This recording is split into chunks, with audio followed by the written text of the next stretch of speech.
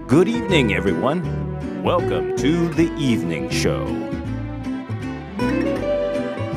한국이 한일 관계를 복원할 계기를 만들어야 한다. 아베 신조 일본 총리가 우리 정부를 향해 한일 관계 악화의 책임은 한국에 있다는 주장을 또 되풀이했습니다. 어, 그러고 보니까요, 오늘이 안 사고 안 가고 안 입는 일본 제품 불매 운동을 시작한 지 100일 되는 날이더라고요. 일본의 무역 보복 조치로 시작된 No Japan 운동. 어, 일본 맥주는 사실상 퇴출되다시피 했고 또 일본 여행 보이콧으로 일본 경제가 3,500억 원에 이르는 손실을 봤다고 합니다. 안 입기 운동하면 또 생각나는 유니클로. 유니클로 보이콧은 지난 7월 매출액을 보니까 70% 급감했다는데요. 한국은 중요한 이웃 나라다라고 아베 총리가 말한 적 있죠. 그 말처럼 네 한국이 조금은 중요한 나라인 것 같은데요. 김지윤의 이브닝 쇼 시작합니다. 네, 오늘 첫 곡 평범함의 위대함님이 맞추셨습니다. 이매진 드래곤스의 Thunder였습니다. 어, 미국 NBA 경기 볼 때 굉장히 많이 나왔던 걸로 제가 기억을 하는데 작년인가요? 그래서 정말 많이 들었는데 네, 저도 굉장히 좋아하는 노래고 들으면 왠지 뛰어야 될 것 같은 그런 노래입니다. 매주 월요일부터 금요일 저녁 6시 20분부터 8시까지 생방송으로 진행되는 김지윤의 이브닝 쇼. 유튜브에서 TBS FM 검색하시면 보이는 라디오로도 함께 하실 수 있습니다. 문자로도 참여하실 수 있는데요. 50원의 유료 문자 샵 0951로 보내주시면 되고요. 또 TBS 앱 그리고 카카오톡은 무료입니다. 오늘은 특별히 법무검찰개혁위원회 위원장 김남준 변호사와 인터뷰가 있고요. 또 쉽고 재밌는 경제 이야기로 정말 많은 구독자들의 사랑을 받고 계시죠. 유튜버 슈카와의 인터뷰가 준비되어 있습니다. 많이 기대해 주세요. 그리고 인별그램도 저희가 마련했는데요. 골뱅이 TBS 언더바 이브닝 쇼로 검색하시면 만나보실 수 있습니다. Welcome to Unfiltered. North Korea's latest. CNN was given 미국 오하이오 일본의 백색 국가 명단 should be on the air. at six 국내외 소식을 한 번에 들려듣는 뉴스 서울 타임즈 네, 지금 이 시각 국내외 핫한 뉴스들을 모아서 보내드리는 서울타임즈 시간입니다. 오늘도 이 시간 함께해 주실 두 분 모셨습니다. 박정호 오마이뉴스 기자 그리고 전주현 외신캐스터 나오셨습니다. 안녕하세요. 네, 안녕하십니까? 네, 오늘도 뉴스가 뭐 많아요. 왜 빨리빨리 진행을 해야 돼갖고. 네. 네. 먼저 오늘 오후 2시 30분에 조국 법무부 장관 검찰개혁 방안을 발표를 했습니다. 먼저 목소리 한번 직접 들어보시죠. 심야 조사를 원칙적으로 폐지하고 장시간 조사, 부당한 별건 수사를 금지한 등 국민의 인권을 보호하겠습니다. 수사 기록에 대한 피의자 등의 열람 등사권을 확대하는 등 수사 절차에 관한 당사자의 알 권리, 변호인의 참여권을 강화하겠습니다. 민생 범죄에 집중하고 수사권 조정에 대비하는 검찰이 되도록 직접 수사를 축소하는 조직 개편을 이루어내겠습니다. 네, 박정호 기자 지금 검찰 개혁 방안을 내놨는데 핵심이 뭔지 좀 짚어주시겠어요? 네, 조국 장관의 검찰 개혁 방안 한마디로 요약하면 인권 강화인데요. 네. 인권 보호 수사 준칙을 훈령해서 법무부령으로 상향해서 이번 달 안에 제정을 하고요. 조사 시간을 8시간 이내로 제한하고 네. 심야 조사 금지, 부당한 별건 수사 금지, 수사 장기화 제한, 출석 조사 최소화 이런 규정을 담겠다고 밝혔습니다.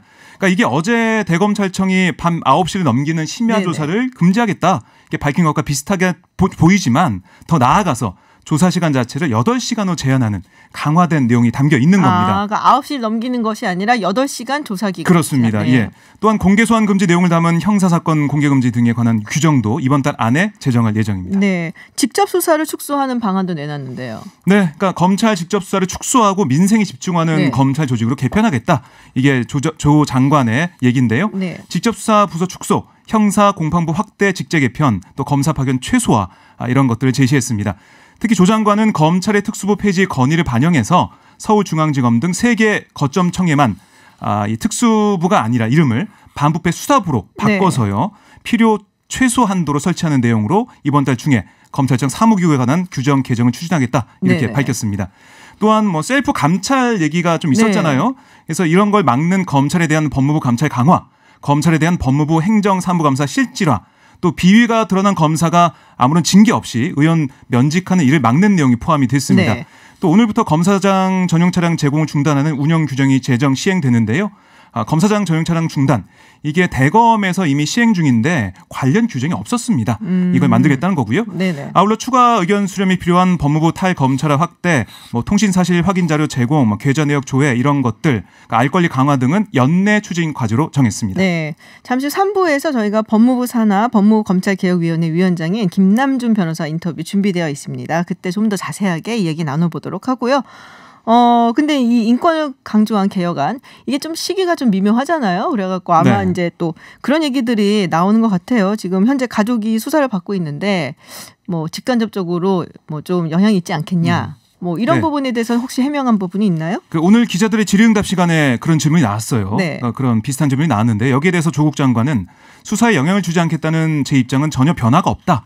음. 우려를 해소할 수 있는 방식으로 법제화가 이루어질 것이다. 이렇게 답을 했습니다. 네, 네. 그리고 뭐 특수부를 축소하면 국고로 키운 수사 인력 재활용 문제가 있는 게 아니냐 이런 질문이 있었는데 네. 주 장관은 특수부 검사들이 아주 큰 기여해온 건 분명하고 이 반부패 수사 역량은 보존돼야 한다 아, 이렇게 얘기하면서 조직 네. 개편과 다른 문제다 이렇게 선을 그었습니다. 알겠습니다. 여야 측 반응도 뭐 나왔을 것 같아요. 뭐 짐작하시겠죠? 그쵸? 네, 네, 뭐 지금 여당 민주당은 환영을 했고요. 네. 한국당은 왜 조국이 검찰 개혁의 적임자인지 전혀 알 수 없는 수준이다. 이미 발표된 내용일 뿐만 아니라 본질적인 검찰 독립성 확보 방안은 없었다라고 어, 네. 주장을 했습니다. 아, 그리고 한국당이 오늘 오후에 아, 이 헌법재판소에 아, 법무부 장관으로서의 권한 행사가 헌법에 위반된다면서 헌법 소원 심판을 정식으로 청구했습니다. 음, 그렇군요. 알겠습니다. 근데 뭐 지금 뭐 조국 장관 동생은 이제 구속의 갈림길에 서 있고 지금 네. 예, 뭐 영장실질 심사를 하고 있는 것 같고 또 정경심 교수는 세 번째 검찰 소환 조사를 받고 있는 중이다라는 뉴스도 들어와 있습니다. 다음 이야기 좀 해보도록 하죠. 어제 사실 서울 타임즈 시간에 속보를 좀 전해드렸는데 자유한국당 여상규 의원 국회 법사위원장이신데 욕설이 아주 후폭풍이 세요. 네, 그렇습니다.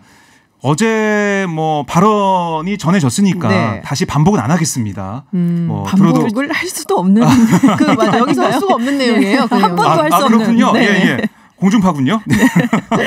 이 발언이 논란이 되자 어제 그 여상규 위원장이 아, 사과했어요. 네. 뭐라고 했냐면 정확한 표현이나 말이 기억이 나지 않는다라고 얘기하면서 상대방 이야기에 극도로 귀에 거슬려서 음. 그런 말을 했을 수도 있다고 생각한다. 대단히 미안하게 생각한다. 이렇게 사과를 했습니다. 들려드려야지 되나? 그러면 어떡하지? 그러니까요. 기억이 안 난다고 어. 했고요. 뭐 하지만 민주당은 사과로 끝날 사안이 아니라고 보고 오늘 네. 오후에 국회 윤리특별위원회 여성위원장을 제소했는데 네네. 검찰을 향해 뭐 본인이 피고발인인 아, 이 패스트트랙 관련 수사 이걸 하지 말라고 했다 음. 이걸 네, 또 지적을 했고요. 맞아요. 예. 또이 동료 의원에게 욕설을 해서 국회의원의 품위를 떨어뜨렸다 이렇게 주장을 했습니다. 이게 뭐 민주당 의원 20명이 서명했는데요. 김영호 원내부 대표는 국감 기간에 다 서명받지 못했다. 네. 이게 우리 민주당 의원들의 모든 국회의원들의 뜻이다 이렇게 봐달라라고 얘기를 했습니다. 어, 이인영 민주당 원내대표도 당회의에서 국정감사장에서 본인에 대한 수사 중지를 요구한 것은 아마 헌정 사상 처음일 것이다. 세계 음. 어느 나라 의회 사에서도 찾아보기 어려운 한편의 희극이다라고 꼬집었고요. 정의당 심상정 대표도 오늘 당 의원총회에서 자유한국당이 법치를 존중하는 정당이라면 스스로 여상규 위원장을 사퇴시키고 네. 징계해야 한다. 이렇게 지적을 했습니다. 그렇군요. 지금 뭐 어, 윤리특위에 제소를 예전 같았으면 했을 텐데. 네. 이게 여- 원래는 상설이었다 지금 비상설로 바뀌었죠. 그렇습니다. 그 점이 함정입니다. 네. 윤리특위가 지난 6월 말에 활동이 종료됐어요. 네. 그래서 지금 어, 어떻게 해야 되냐 이런 얘기 나오고 있는데요. 여야 원내대표가 합의해서 만들 것이다 이 정도로만 이제 좀 얘기가 좀 나오고 있어요. 근데 언제 될지 모르죠. 음. 그렇죠. 국회 상황 보십시오. 쉽지가 않고요. 지난 3년간 윤리특위의 징계 몇 건 있는지 아시겠어요? 두 분 알고 계세요? 혹시? 모르겠어요. 기억이 완전 네. 국회 활동을 했었어야,지 기억이 아, 나는데. 예. 단 한 건도 없었습니다. 네. 그러니까 38건이 음. 지금도 올라와 있었는데 그때까지 없어지기 전까지 5.18 망언에 대한 김진태, 네네. 김순례, 아, 이종명 맞다. 한국당 의원 네. 얘기 있었고요. 또 이 문재인 대통령 지지자를 달창이라고 비하한 나경원 원내대표 네. 그리고 외교 기밀 유출 논란에 강효상 한국당 의원 재판거래 의혹을 받고 있는 서, 서영교 민주당 의원 여러 건이 있는데 음. 한 건도 처리가 되지 않았습니다. 알- 논란이 다 크게 됐던 사안들인데 그것만 있고 징계는 그러니까요. 결국 없었다는 게 굉장히 놀라운데요. 그러니까 이슈를 이슈로 덮는다 뭐 네. 이런 거죠. 그러니까 아. 시간을 끌다 보면은 사람들의 기억에서 사라진다 이렇게 네네. 보는 것 같아요. 사라졌네요, 진짜. 그런 사라진. 거 맞네요. 네, 맞네요. 그러니까요. 저희도 좀 그렇잖아요. 그렇네요. 알겠습니다. 아니 아무래도 이게 미, 미국 의회가 제가 배웠을 때 굉장히 부러웠던 게 네. 거기서는 동료 의원에 대해서 이렇게 막말을 하는 것을 굉장한 그 아주 굉장히 큰 음. 잘못을 한 걸로 네네. 여겨져서 굉장한 징계를 내리거든요. 그렇죠. 예. 그러니까 뭐 정치적인 비판과 개인적인 비판은 다른 것이다 이러면서 품위를 유지해야 된다 이런 음. 규칙이 굉장히 세게 있다는 말을 듣고 참 그게 부럽더라고요 저는. 규칙은 저희도 있을 거예요. 그러니까요. 근데 이제 그안 적용이 그렇지. 안 되니까. 네, 그래서 그러니까 유야무야한 뭐 윤리특위가 계속 되었으니까 그런 네네. 면이 있고요. 한국당 입장을 좀 잠깐 전해드리겠습니다. 나경원 원내대표가 입장문을 냈는데 여당은 제1야당 의원을 향한 인민 재판을 즉각 멈추고 음. 윤리 제소를 즉각 철회하라 이렇게 주장을 했습니다. 뭐 네. 네. 뭐 이미 알겠습니다. 사과를 했다 뭐 이러면서 아. 이렇게 주장을 했네요. 뭐 받은 사람의 감정이 사실은 더 중요한 거고요. 그죠? 네. 알겠습니다. 실검 이야기를 해 볼게요. 화상벌레. 네. 이, 게좀 아니 뭐 아이 가진 어머니들은 굉장히 걱정이 많아요. 이게 그렇습니다. 어떤 부- 이게 저는 보니까는 외국에서 온 건 줄 알았는데 그렇지 않다 그래요? 네, 이게 한국에 있는 네. 토종이라고까지 볼 수 있는 그런 음. 종이라고 해요. 어, 화상벌레 왜 화상벌레인지 아시겠어요? 이게 물리면 막 이렇게 화상한 것처럼 그- 예, 예, 네. 잘 아시네요. 피부에 예, 굉장히 예. 상처를 준다. 근데 저만 잘 몰랐나 봅니다. 아니 예, 저도 잘. 몰랐는데 올라와서 알았어요. 저도 이제 처음 봤는데 네. 이게 지난달 전북의 완주 한 대학교 기숙사에서 발견됐어요. 네. 그다음부터 이게 외래종이냐, 음. 뭐 한국에 있는 거냐 네. 논란이 있었는데 알고 봤더니 이게 유전자 검사까지 해봤더니 이게 한국에 있는 종이라고 합니다. 이 정식 명칭이 청딱지 개미 반날개라고 돼 있는데요. 꼬리에서 독성 물질인 페데린을 분비해서 피부 접촉만으로도 타는 듯한 화상을 아, 입는 듯한 어떡하냐. 어, 그런 아픔을 느끼게 네. 하는 그런 거예요. 아니 이름이 그렇게 딱 있었으면 네. 우리 주위에 언제나 있었다는 건데 이게 그렇습니다. 이렇게 크게 알려지지 않았다는 게 저는 신기한데요. 알려졌어요. 예? 그러니까 이게 전북에서 이제 알려지면서 뭐 경남 통영시, 네. 충남 천안시, 대전 충북 청주 이런 데서 발견됐다 이런 내용이 들어와 있고요. 또 경기도에서도 뭐 군포, 그게 그 맘카페에서 네. 얘기가 나왔어요. 네. 축전 뭐 이런 맘카페에서 지금 봤다고 사진 네. 찍어서 올렸다는 이제 제보가 있, 그러니까 아마 있더라고요. 이미 뭐 경기도 지역, 서울 지역도 있지 않을까. 발견만 안 된 게 아닐까라는 생각이 들고요. 이게 현재까지 전용 퇴치제는 없다고 해요. 아. 그러니까 만약에 이게 쓸리게 되면 물리게 되면 닿게 되면 이게 물에 씻고 그리고 심하게 되면 병원으로 가라 이 정도인데 대처 방법은 없는 거예요? 그 모기 살충제가 일정 부분 효과가 있다 이런 어. 얘기가 좀 있는데 음. 좀더 이게 아직 알려지지 않는 거기 때문에 네. 우리가 좀 방안을 좀 함께 마련해야 될 것으로 보입니다. 그렇군요. 네. 개미를 좀 잘 살펴봐야 될 것 같아요. 네. 네, 사진도 잘 보고 이런 거라는 걸 아이들에게도 알려주고 그렇습니다. 네. 조심해야. 됩니다. 조심해야겠네요, 진짜. 네. 알겠습니다. 어, 그러면 잠깐 저희가 교통 정보 듣고 그리고 다시 돌아오겠습니다. 네, 조금 전에 화상벌레 소식에 청취자분들도 주의사항을 알려주셨어요. 225님, 화상벌레가 만약에 있다면 몸에 옷에 벌레가 올라왔을 경우에 때려서 잡지 말고 바로 털어버리라고. 그렇네요. 네, 음. 때려서 잡으면 음. 상처가 분비물이, 예, 예. 입는다 이렇게 주의사항을 또 올려주셨습니다. 고맙습니다. 네, 그러면은 좀 나라 밖으로 시선을 좀 돌려보도록 하겠습니다. 북한이 SLBM 잠수함 발사 탄도 미사일을 쐈는데 그거에 대해서 유엔 안전보장 이사회 소집 요구가 있었어요. 독일이 요구를 했다고 들었는데요. 그렇습니다. 그래서 영국과 프랑스가 지지를 보내면서 네. 열리게 됐는데요. 김성 유엔 주재 북한 대사가 이 안보리 소집 요구에 대해서 위험스러운 시도다. 결코 좌시하지 않을 것이다. 이렇게 강력하게 반발을 했습니다.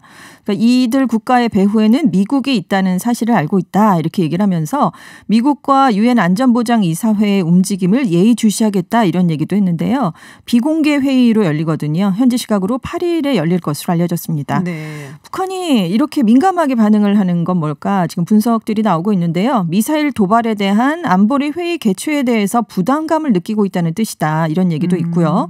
스웨덴 북미 실무 협상이 결렬된 이후에도 협상을 깨지 않으려고 신중한 모습을 보이는 미국을 압박하면서 안보리의 규탄 조치를 사전에 차단하려는 의도도 담겨 있는 것이다. 이런 분석도 네. 나오고 있습니다. 지금 어 이동훈 한반도 평화교섭 본부장이 미국에 갔어요. 그래서 비건 대표하고 만난다는 얘기가 있는데요. 네, 그렇습니다. 그 현지에서 기자들과 만나가지고 네. 여러 번 만나겠다 비건 대표를 네네. 비건 미국 대북 특별 대표를 여러 번 만나겠다 이렇게 얘기를 했습니다.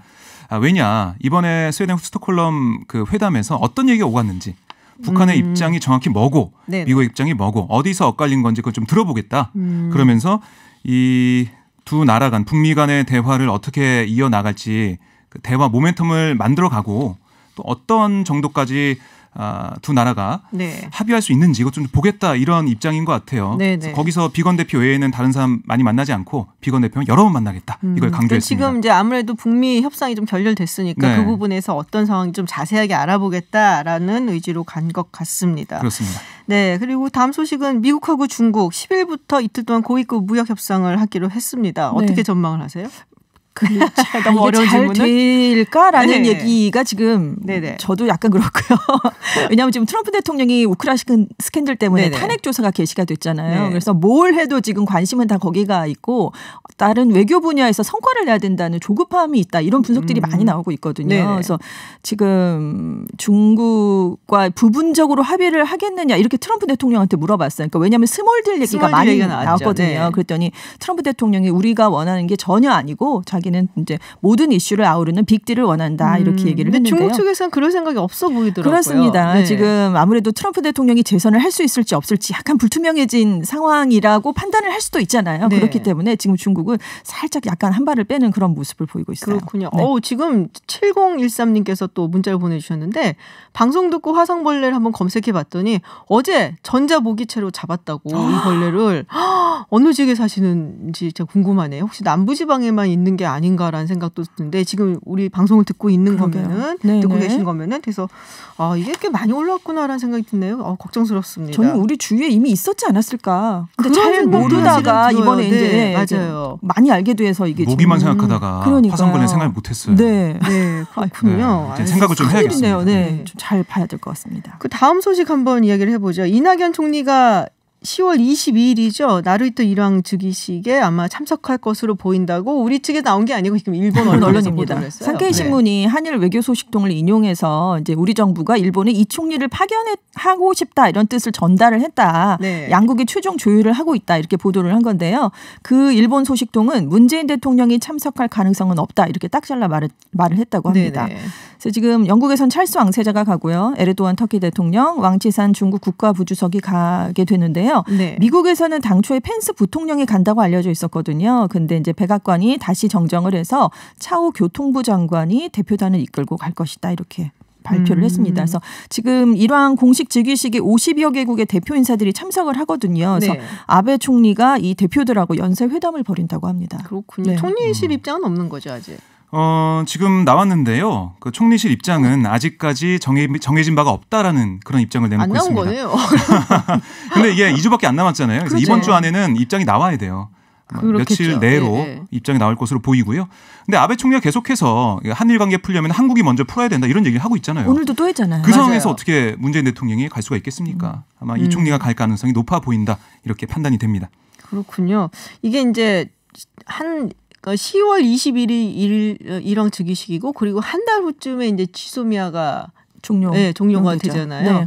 그래서 뭐 미국 측에서 얘기하기로는 그 전에 마음을 바꾸면은 된다라는 식으로 이야기를 많이 했었는데 글쎄 뭐 그게 거기까지 이어질 것인지는 잘 모르겠지만 뭐 한일 관계를 복원하는 뭐 차원에서 뭐 이낙연 총리를 갈 수가 있다 뭐 이런 네. 얘기들이 좀 나오는 것 같아요. 일본 통이기도 하시고. 네, 일본 통이시죠. 네네. 또 워낙에 예전에 동아일보 기자를 할, 사실 때 그때 일본 특파원도 하셨고 그렇습니다. 그래서 지금 교도통신은 이 총리가 방일한다면 그 일정 중에 모리 요시로와 아, 후쿠다 야스오 전 일본 총리와의 회담을 아, 할 수도 있다. 이렇게 좀 전하고 음, 있습니다. 그렇군요. 일본 측 언론 보도가 그렇게 좀 나오고 있어요. 네. 그러니까 네. 잠깐 물밑에서 뭔가를 네네. 좀 이루고 싶어 하는 게 좀 있는 게 아닌가 양국 모두요. 네, 알겠습니다. 아, 아까 그 문자 보내주신 청취자 분 7013님, 어, 어디시냐고 제가 지역을 여쭤봤잖아요. 네. 그 화성벌레 검색했더니 어제 전자모기채로 잡았다. 근데 강동구 명일동이시래요. 그러니까요. 서울이네요. 서울까지 네, 그러면 서울까지 올라올. 것인가가 아니라 이미 있는데 야, 네. 이게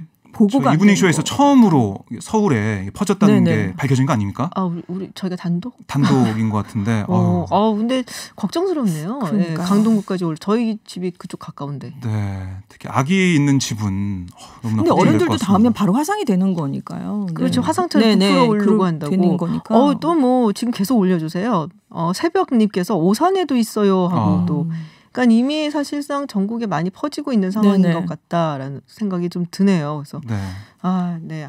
빨리 좀 어떻게 조치가 좀 되어지지 않을까라는 뭔가, 생각이 네. 좀 듭니다. 네. 네, 다음 소식 어 평화의 소녀상 소식이 들어와 있어요. 일본 국제예술제인 아이치 트리엔날레에 출품이 됐다가 8월에 사흘 네. 만에 전시가 중단이 네네네. 됐었었잖아요. 근데 오늘 오후 2시 10분부터 전시가 재개됐습니다. 예, 전시 기획사 측이 지난달에 나고야 지방법원에 행사 주관사 측을 상대로 전시 재개를 요구하는 가처분 신청을 냈었거든요. 그래서 네. 양측 간의 법적 화해가 성립되면서 오늘부터 전시가 재개됐는데 조건이 붙었어요. 안전 어. 유지를 위해서 추첨을 통해서 한 번에 30명씩만 입장을 할 수 있고요.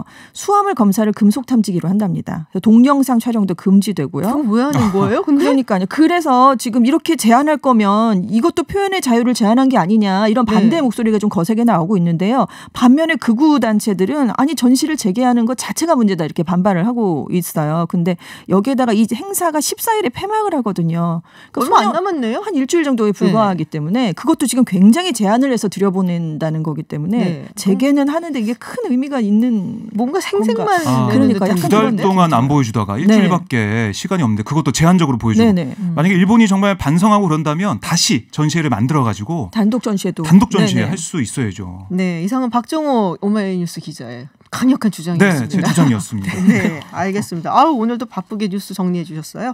아 오늘 말씀 감사하고요. 또 내일 또 전, 연, 즐거운 뉴스, 재밌는 뉴스 또 우리한테 중요한 뉴스 전달해 주시기 바랍니다. 고맙습니다. 네, 네. 고맙습니다. 감사합니다. 네, 지금까지 전주현 외신 캐스터 그리고 박정호 오마이뉴스 기자였습니다.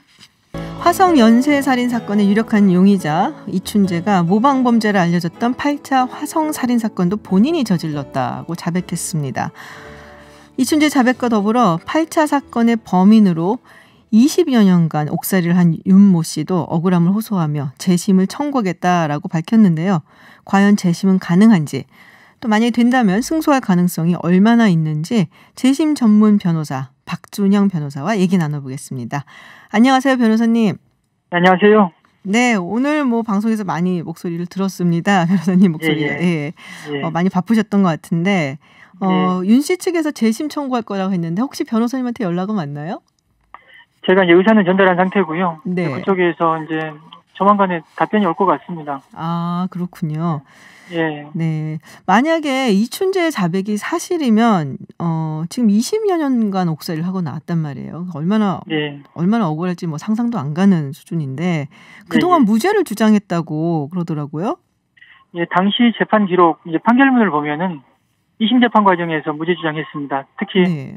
보문에 의해서 허위 자백했다라는 주장을 분명히 하고 있습니다. 아, 네. 그리고 판결이 확정된 이후에도 지금 기사를 보니까 교도관 인터뷰나 동료 수감자들 인터뷰 나오거든요. 네. 이런 무죄 주장을 일관되게 계속 해온 것 같습니다. 아, 그렇군요. 근데 2심에서 수사기관의 가혹행위가 있었다라고 이렇게 무죄를 주장, 예. 주장했다라는 얘기를 들었거든요. 음, 네. 예. 근데 1심 때는 그 얘기를 안 했었어요. 그러다 보니까 이제 사람들이 아니 수사 과정에서는 뭐 경찰의 어떤 고문이 이제 영향을 미쳐가지고 검찰 단계에서는 자백을 음, 했을 수 있지만은 재판 단계에서는 얼마든지 억울함을 주장할 수 있었지 네. 않냐라고 하시는데 이게 이제 제가 경험한 이제 사건을 예를 들면은 네. 삼내 나라스포 사건도 사람 죽은 사건이었는데 재판 과정에서 1심 때 자백을 했거든요. 2심 때도 자백했고 네. 이렇게 이제 보호받지 못한 사람들, 보호받지 못한 사회적 약자가 이제 변호인의 조력이 부족한 상태에서 얼마든지 자포자기 상태가 되고 또 허위 자백을 한 사람들은 자신이 받을 형벌, 형벌에 대한 현실적인 어떤 감각이 현저히 떨어지는 것 같아요. 네. 그래서 1심 때 자백을 한 것 같습니다. 그렇군요. 네, 알겠습니다. 어, 근데 어쨌든 2심에서는 이제 무죄를 주장을 했었는데 그럼에도 불구하고 경찰이 이제 범인으로 지목을 한 거잖아요. 예. 자기는 이제 무죄를 주장을 했다는데 근거가 뭐였나요? 제가 뭐 기록을 보지 않은 상황이기 때문에 네. 분명하게 말씀드리긴 어렵지만은 제가 이제 그 기사나 이런 걸 보고 가진 느낌은 이제 현장에서 발견된 채모를 이제 분석을 해보니 네. 분석을 했, 했던 것 같아요. 그 분석이 뭐 방법이 뭐 그 당시 최첨단 방법이었다고 하는 하는데 뭐 방사성 뭐 동위원소 감별법이란가 네, 네, 그걸 맞아요. 사용을 네. 했는데 그걸 토대로 이제 특정을 했다는 거죠. 특정해서 음.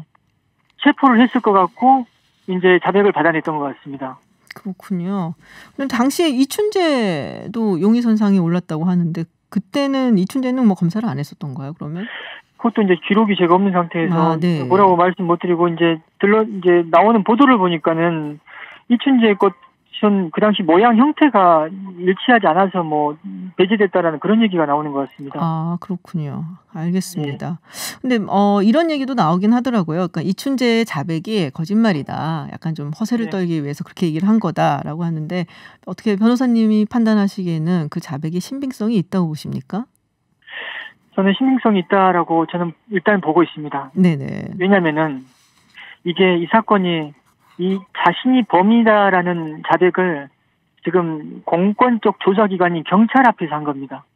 그리고 또 이 화성 연쇄살인 사건의 어떤 그 범인인지 여부를 밝히기 위해서 온 국민이 관심을 갖고 있는 상황에서 이제 여죄를 추궁했었거든요. 이때 네네. 형이 확정된 사람, 형이 확정돼서 복역까지 마친 사람이 있는 사건의 어떤 정보를 주면서 이것도 하지 않냐, 않았냐라고 물어보진 않았을 거란 말입니다. 네. 뭔가 본인이 자연스럽게 자백을 했던 것 아, 같고. 예. 특히나 이웃에 살고 있었다지 않습니까? 네. 그러면은 이 사건의 어떤 정보에 대한 진술이 굉장히 구체적이었던 것 같고, 또 이 사람 입장에서는 자기가 한 저, 저지른 범행인데 다른 사람이 들어가는 상황에 대한 그 그것도 굉장히 본인 입장에서는 굉장히 충격적인 일인 거고요. 그래서 네네. 사건에 대한 기억이 좀 뚜렷하지 않았을까라는 생각 갖고 있고요. 그리고 이춘재의 자백을 검증을 하겠다라는 얘기가 나온다는 것은 뭘 의미하냐면은 네. 그 이춘재의 자백이 이런 의미가 있다라는 것이 전제가 되는 것 같습니다.